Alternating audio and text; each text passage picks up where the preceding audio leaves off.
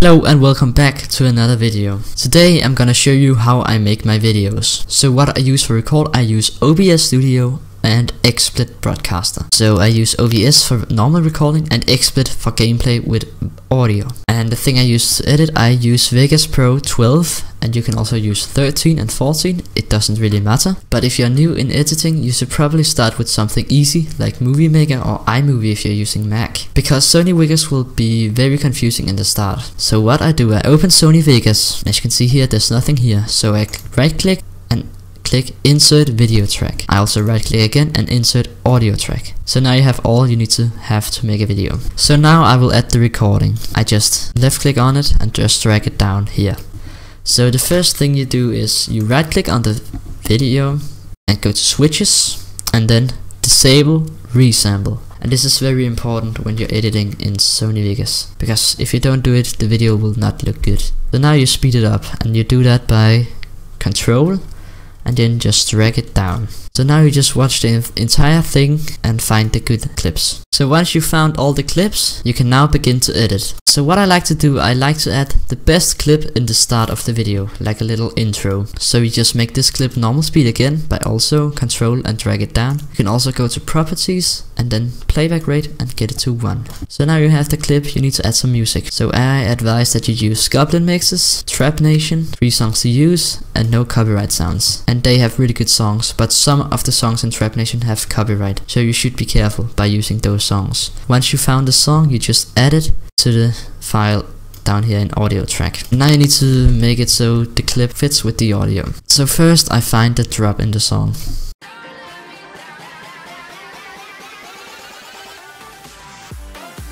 Yeah, and it doesn't fit at all right now. So how you can fix this is you can...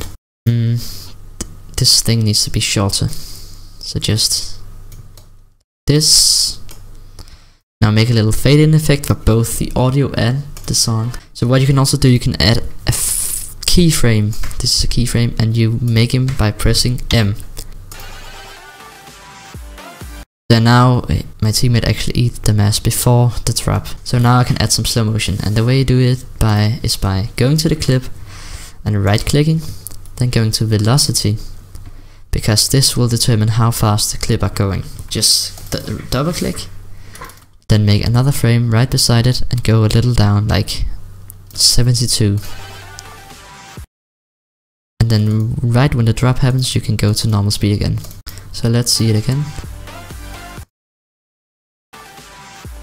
So now it doesn't look that bad. It actually looks pretty good. There's still not that much editing. So what you can do, you can add a little zoom in effect. So how you do it, just go to the keyframe again and then go a little down like this maybe. And now go one frame back and you do it by pressing this one over here and then click on the middle and click restore. So now it will have this little effect but it looks better if you still go back out. So you can just, almost to the end of the clip, click restore again, because now it will look like this. But it still doesn't look that good, so what you can do now, you can add an overlay, and the way you do it, you add another video track, and now you just download, find some overlays on YouTube you like, and then just add them to the clip. I have some overlays on my computer, so I will find them now. So when you found the overlay, you can just drag them down to the clip again, but as you can see here, there's a, still a little audio thing. And you don't want this. And the way you remove it is by pressing U. So now you can delete it. Now you just get it up here. As you can see now, it will just look like this. So you can't see the clip when you do this. So just go to the green box over here. And now just click add. So now it will be added to the clip. Okay, so now you can get it down here. And maybe make it a little bigger. Like this. Maybe make a little fade in effect and that will look like this. But I feel like the explosion is too fast, so what you can do, you can slow it down by also dragging it. Now it will look like this. But there's a problem with this overlay because you can't see it now.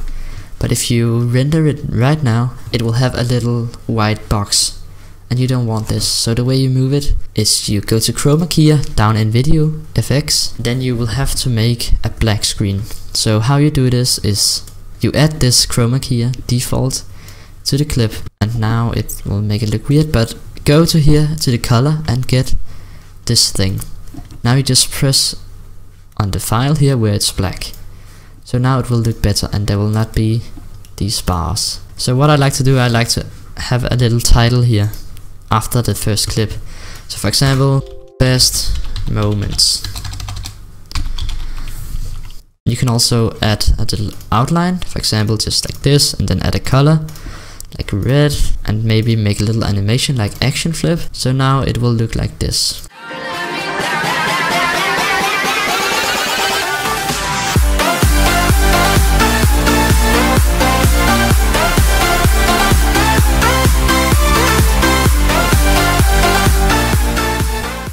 So now you actually have the start of your video and also make a fade out on the song. So that is basically it for this video. So I really hope you enjoyed this video. If you did, make sure to drop a like down below, subscribe if you're new, and tell me if I should do a part 2. And of course, my name is Yukito, and thanks for watching.